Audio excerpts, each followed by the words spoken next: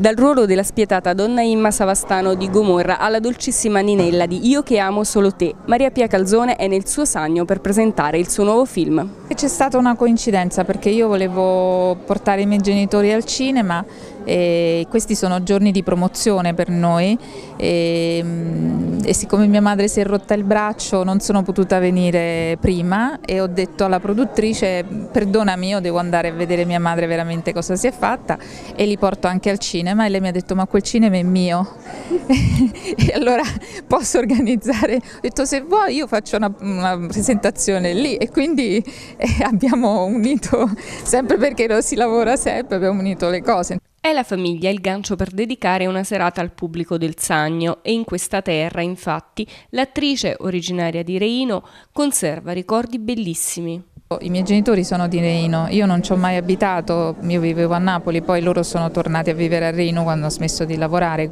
Per me Reino è il paese dei miei nonni dove io trascorrevo le mie estati, quindi ho i miei ricordi di infanzia, ehm, cioè è, è, è il posto del cuore proprio perché era il posto dei miei nonni, io adoravo i miei nonni ci venivo in vacanza, ci venivo il sabato e la domenica. Dei suoi ruoli più recenti invece ci racconta.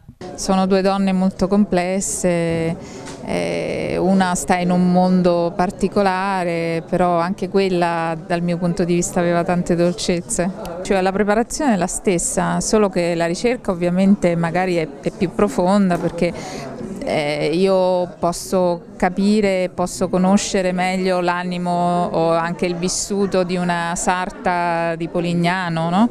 eh, mentre non conoscevo niente di una, di una camorrista, quindi è diversa la, la ricerca. Lì ho dovuto fare più ricerca, ho dovuto studiare di più.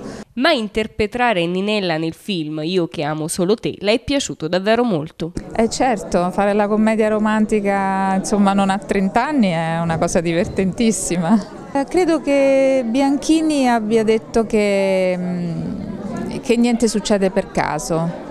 Eh, niente succede per caso, le vite vanno forse come devono andare, ma se ci sono delle cose forti quelle poi ritornano. L'ultimo pensiero è per gli alluvionati. Io volentieri eh, se ci sono iniziative mh, volte alla sensibilizzazione metto a disposizione eh, i, miei, i, miei, social network, metto a disposizione la mia faccia e lo faccio,